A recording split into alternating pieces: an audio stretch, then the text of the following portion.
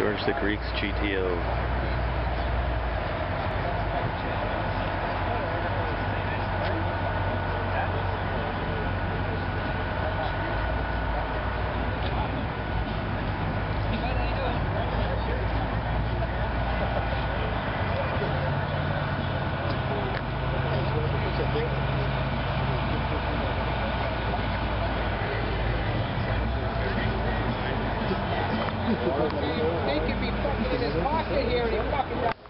Uh, there's always a profane person in the background when I'm videoing a car.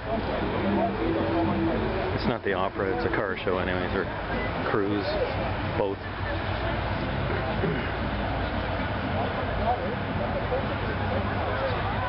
Huh, How many F-bombs can you hear in one video, huh?